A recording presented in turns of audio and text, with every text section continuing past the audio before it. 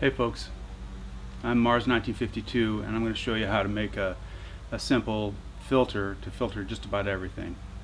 I use this, um, I started using it to, to, filter distilled water before I put it in my methanol uh, injection system.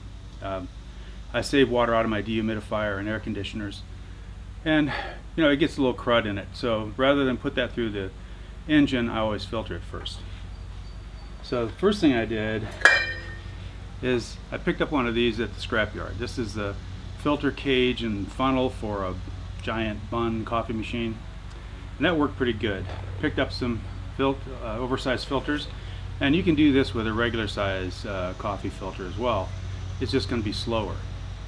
Um, that worked great except you can imagine if I'm trying to pour it into a jug I got to balance it and by the time I get this full of oil or water, it's going to be real top heavy. And I did tip over a few.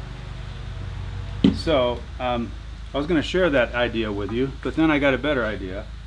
And that I use this large funnel I picked up at Tractor Supply and a piece of window screen was left over from a repair job. This is aluminum window screen. And just fold it uh, in the same shape as a coffee basket.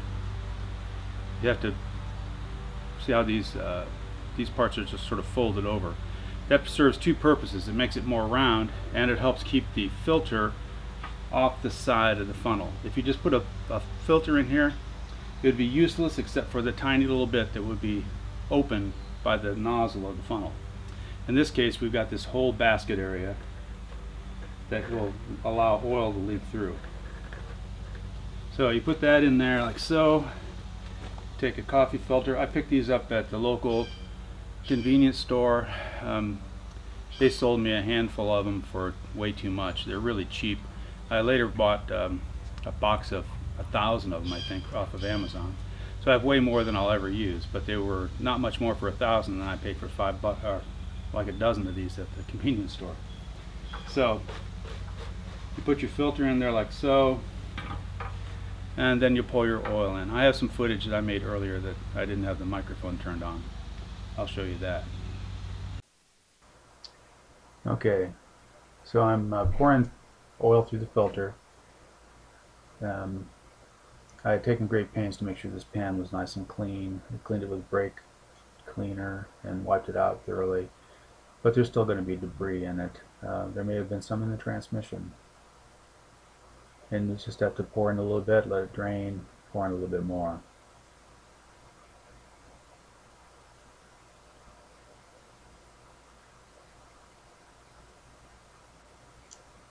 So here I'm trying to explain how the uh, basket keeps the paper filter from plastering to the funnel and allows it to drain over the entire surface of the paper.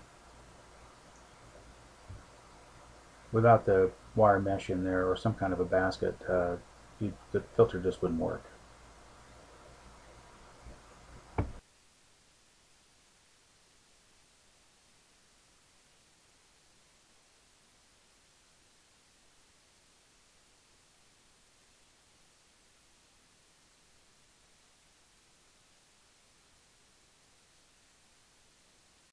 I finished the first jug and, I, and it took quite a while and I got tired of pouring in and waiting, pouring in and waiting. So I was thinking there's a better way to do this. So I got a fresh filter, empty jug, and a full jug. So one gallon, one gallon. And I'm going to fasten this on to this um, hand truck like so. Suspend it over and bungee strap it on. Like so. Maybe another bungee strap wouldn't hurt. Now the idea is I'm going to take that cap off. Oil will pour into the filter come up to the edge to the top of the lip of the jug and not go any further. And the, as the oil drains through the filter more oil will come out. So this will be like self-feeding, almost like a hummingbird feeder. So if this doesn't work, it should be good for laugh. See how much of a mess I'm going to make here. So let's take off the, the cap without disturbing the filter.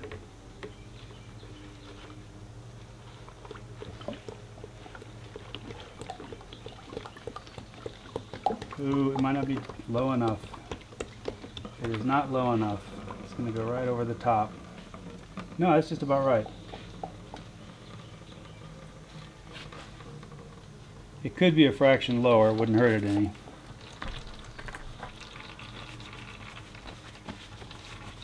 I'm going to lower it a little bit here.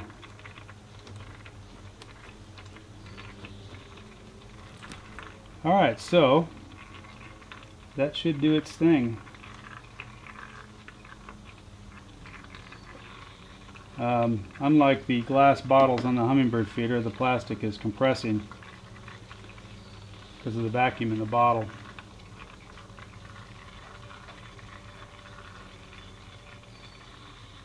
Now I can go off and do something else.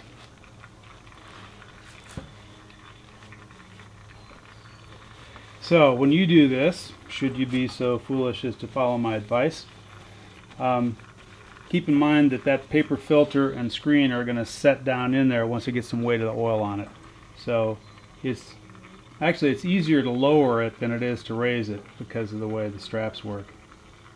But uh, it's better be a little too low than a little too high.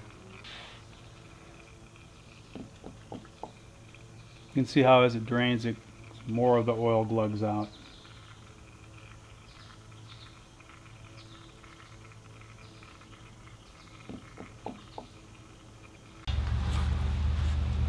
So this is the filter uh, that I used to filter this gallon of fluid.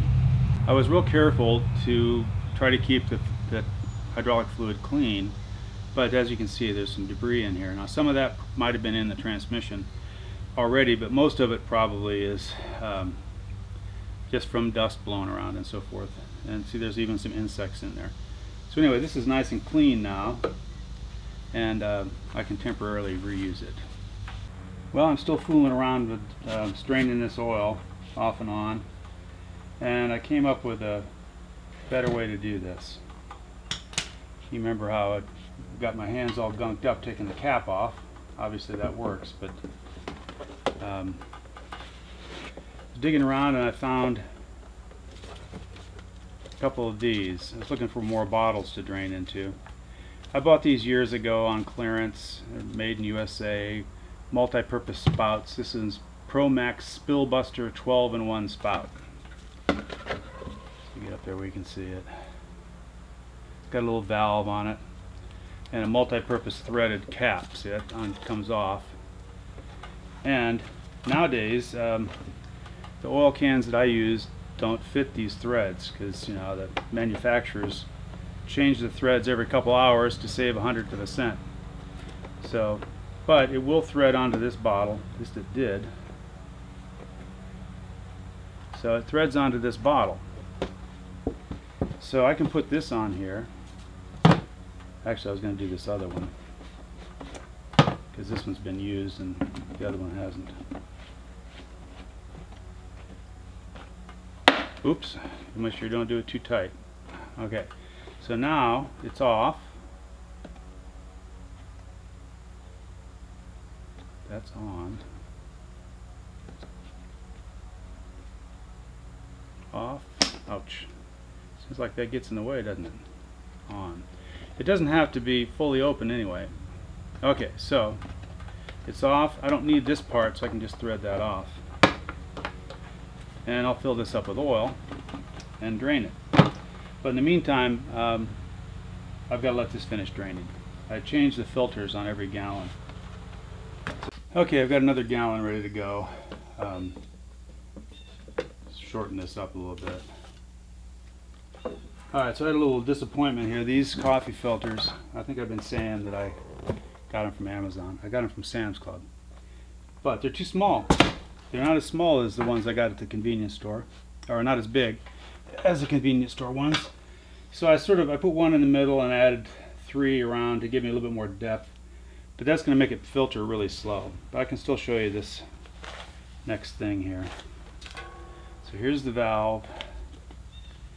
Put that sucker on there. It's off. Turn it upside down. hook it up. Or recording, right?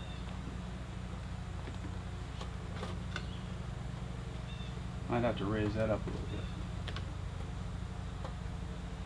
No, it looks okay. And bungee are on there.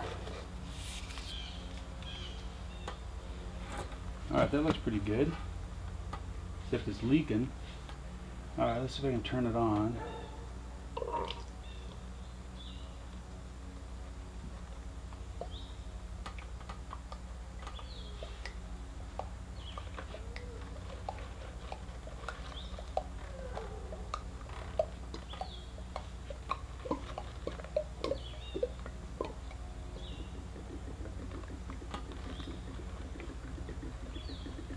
Okay, let that down a little bit.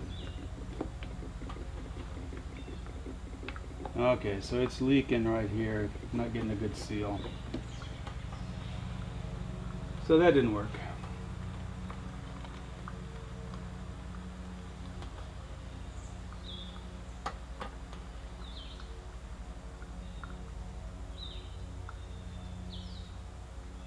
But if I had one that fit, it would work pretty well. So take that for what it's worth. Um, not much.